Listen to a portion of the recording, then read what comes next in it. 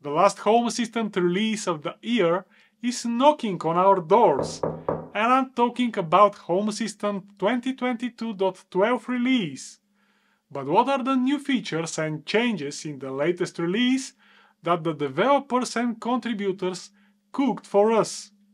I must say that there are few completely new things and some things are greatly enhanced. So, it is quite exciting release in general and without further ado, uh, let's get into the first new thing in Home Assistant 2022.12 which is a local calendar. Until now, to get a calendar functionality, you had to connect your Home Assistant to some cloud services like Google Calendar or CalDAV. But after 2022.12 release, you can have a calendar locally. Adding a local calendar to your Home Assistant instance can be done very easily via the user interface. The local calendar integration allows you to create a calendar of events in Home Assistant that can be used as triggers in automations. For example, you can have the following automation. Send a notification 15 minutes before an event. And this is how easily you can create such automation. I'll go to my automation section, I'll press the C button again and this time I'll type automations and I'll select navigate automations. Create a new automation and I'll start with an empty one. The trigger will be of type calendar. I'll select my home calendar here and the event will be event start. And I can say start this automation if there is an event and the time is 15 minutes before the start of the event. Or let's make them 20 because currently it's 9 minutes after 6 pm and I set my event to start at 6.30. I'm ready with the trigger and I'll add an action. The action will be call service. The service will be persistent notification create and the text will be your event start in 20 minutes. For example, and I'll click save. The name of the automation will be 20 min before a home event. 20 minutes before a home calendar event. And exactly 20 minutes before the event in my home calendar, I receive this notification.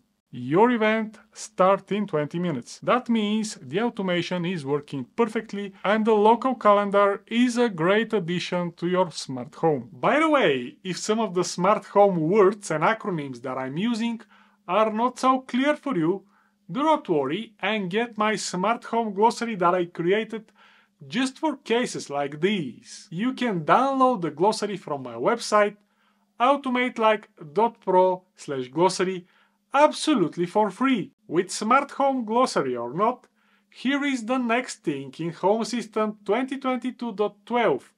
Namely, it is a Bluetooth proxy using Shelly devices. What that means is the following.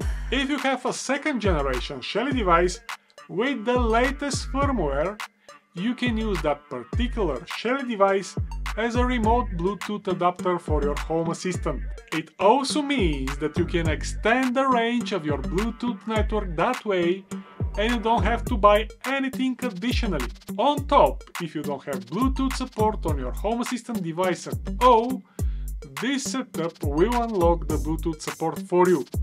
Just buy one Shelly Gen 2 device or an ESP32 board and use it as a Bluetooth proxy. You can find more details about what Bluetooth proxy is and how to have one on an ESP32 board by watching this video of mine. With or without Bluetooth proxy from Shelly device, the next new thing in Home Assistant 2022.12 is a text entity. But what text entity actually is. There is already a text helper that you can create and manage by yourself.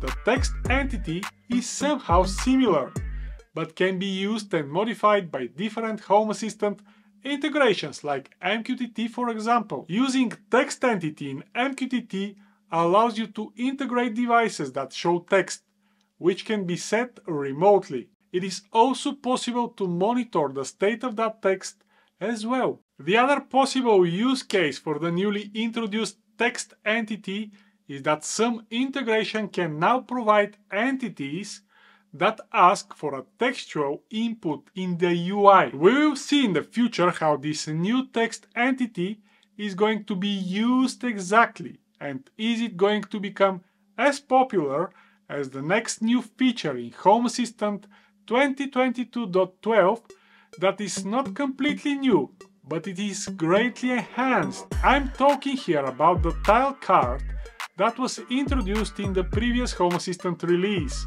and now it received additional extras, aka features.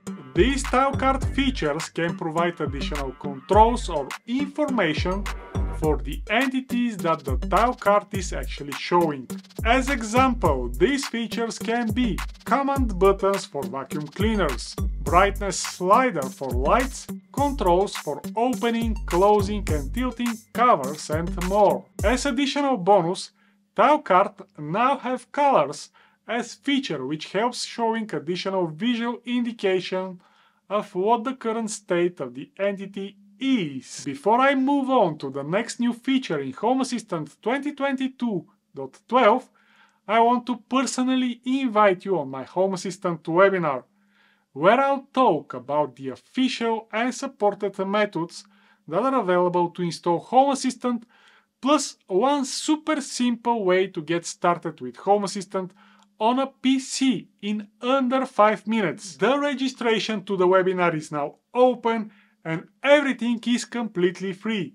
So, pause this video, go register right now and come back so we can continue with the summing entities without templates feature, which is the next new thing in Home Assistant 2022.12 that I want to show you. Before this release, there was a min-max helper which is now renamed to a combine the state of several sensors helper and it is enhanced in a way that allows creating a new helper entity that sums the values of two or more other sensors. It can be very useful to combine several utility sensors to get the total consumption of the electricity or other utilities, for example, which is kind of cool. If you reach this point, then you may want to see some more videos from me.